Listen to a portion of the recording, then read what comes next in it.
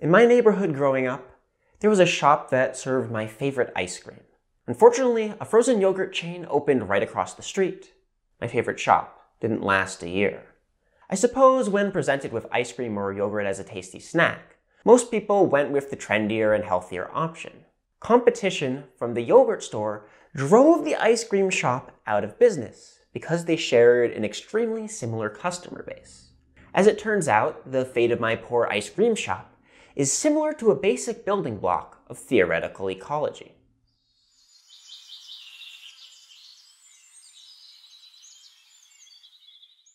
Charles Darwin's foundational work talks about how the struggle for existence is a driving force in life. A key struggle organisms face is competition from other species. Lions and hyenas overlap in prey items, causing conflict. Species of trees compete over space and resources in the soil like nitrate.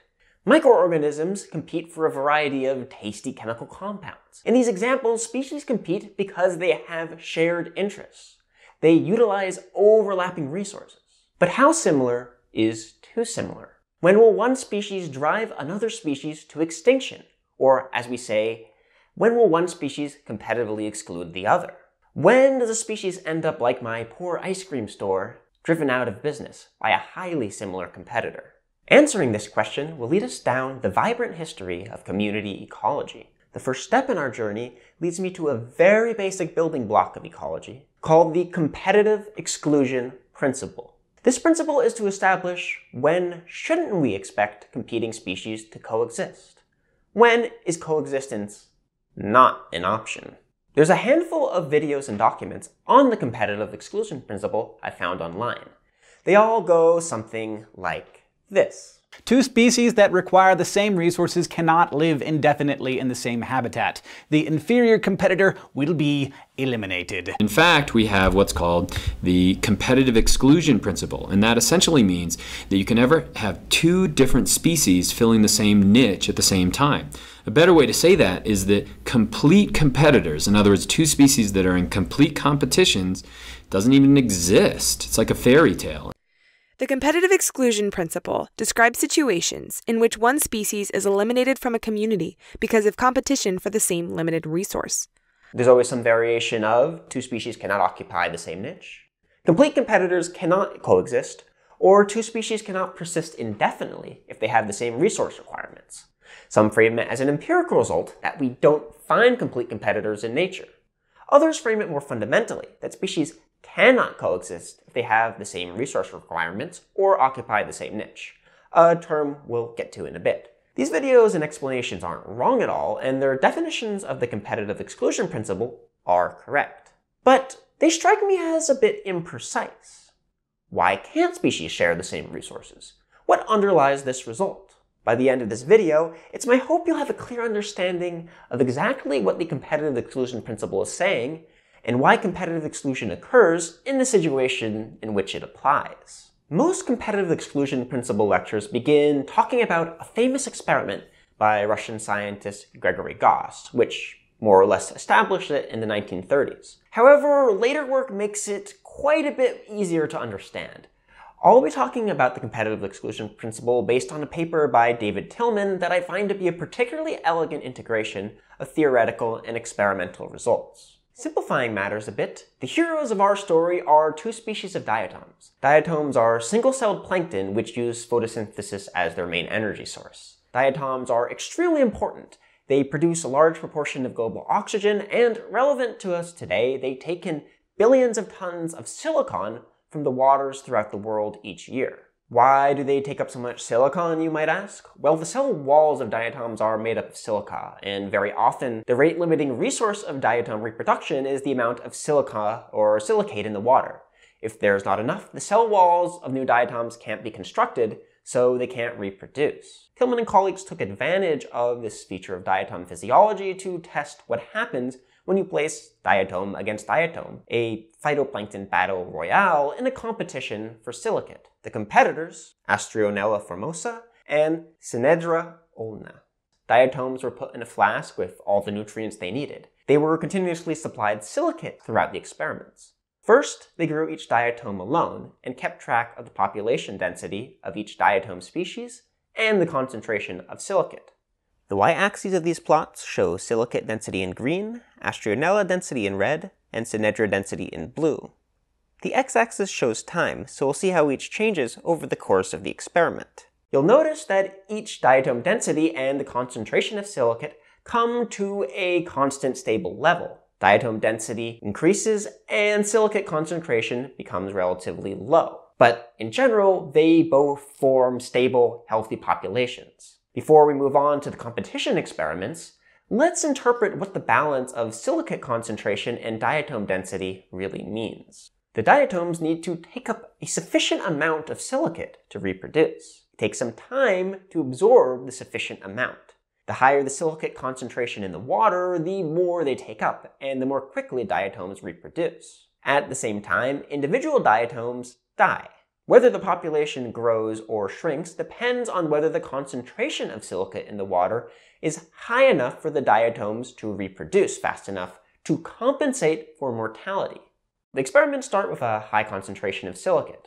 The diatoms take advantage of the high concentration and reproduce rapidly. Each diatom takes up silicate. The more diatoms there are, the more silicate gets absorbed, so the silicate level drops. With a lower concentration of silicate in the water, diatoms reproduce slowly because there's less silicate for each diatom.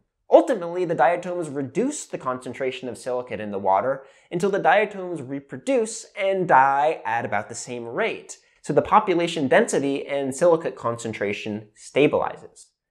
This is the equilibrium concentration of diatom density and silicate concentration.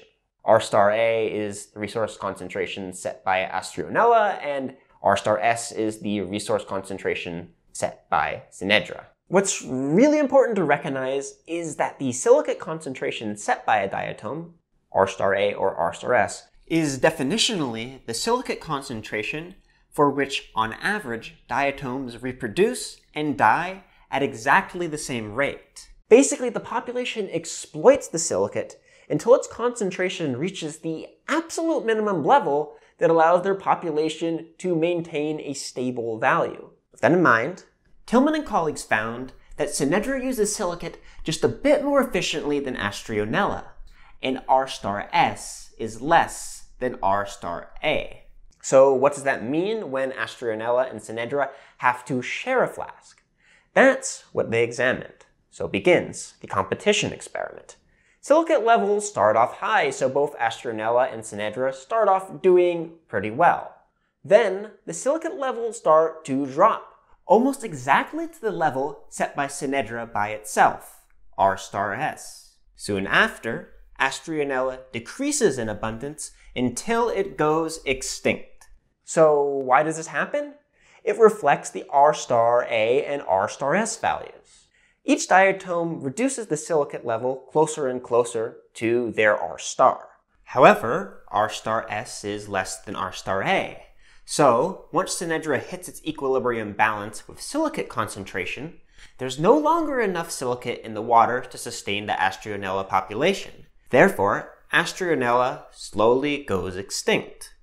This, in a nutshell, is how the competitive exclusion principle works. If two species share the same limiting resource, the species that can more efficiently utilize the resource will drive the resource to a level below the minimum threshold that allows its competitor's population to reproduce as fast as it dies. Thus, unless both species are exactly equal in resource use efficiency, here R star A would have to be exactly equal to R star S, the less efficient competitor is competitively excluded eventually. This is why people say complete competitors cannot coexist indefinitely. The system needs to reach equilibrium before the inferior competitor goes extinct. There's quite a few built-in assumptions here. The situation also inherently implies that the competitors are in a completely closed system. If Tilman and colleagues continually added individuals of Asterionella and Synedra to the flasks, no species would ever go extinct. Also, in nature, resource availability varies in time and space. Different species may capitalize on resources in different locations or at different times. The competitive exclusion applies only when there is no spatial or temporal variation in the limiting resource, which, as we'll talk about in future videos, can be extremely important. So this was a bit of a long explanation, but I hope it gives you a bit of intuition about the underlying assumptions that go into the competitive exclusion principle, and I hope that you conceptually understand why competitive exclusion is actually predicted by it. This is not the only situation where the competitive exclusion principle is relevant. The situation I've described, where two species compete indirectly because they exploit the same resource or resources, is a very common ecological scenario which we call exploitative competition, and we'll come back to it many, many times. Listening to all of this, you might rightfully point out this whole situation is obviously not the norm. Indeed, in nature, species are different. They differ in factors like which resources they utilize, which predators they have, and which features of the environment they perform best in, etc. Often, ecologists will use the term ecological niche as some sort of amalgamation of all these factors. And that's what people mean when they say the competitive exclusion principle means species can't occupy the same niche. They're implying that the competitive exclusion principle applies when all of these complications are ignored. We'll talk about niches in the future, but be prepared, it's a bit messy. While it's a bit messy, it's also important. The diatoms for Tilman's study were both taken from the same sample off the shore of Lake Michigan, so it does seem that they coexist. Does this mean that the competitive exclusion principle is wrong?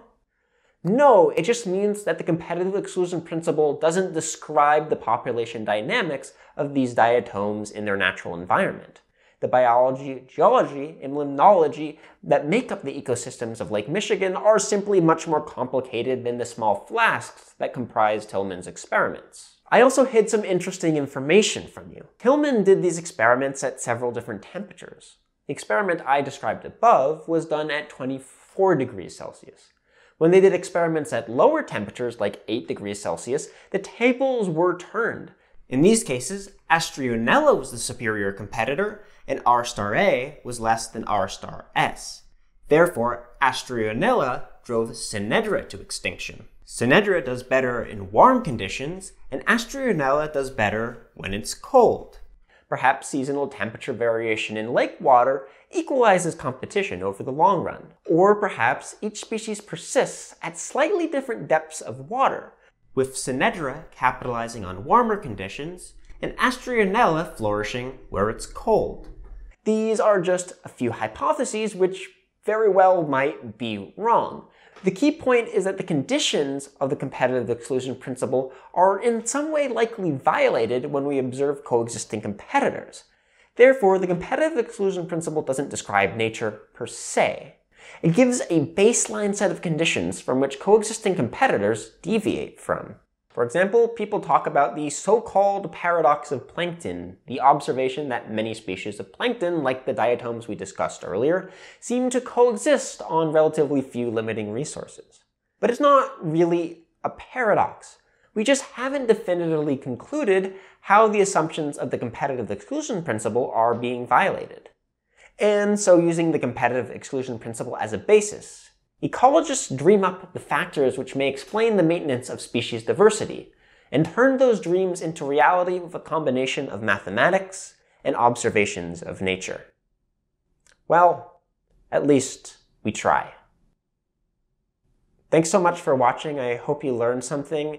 If you enjoyed, please consider subscribing to the channel.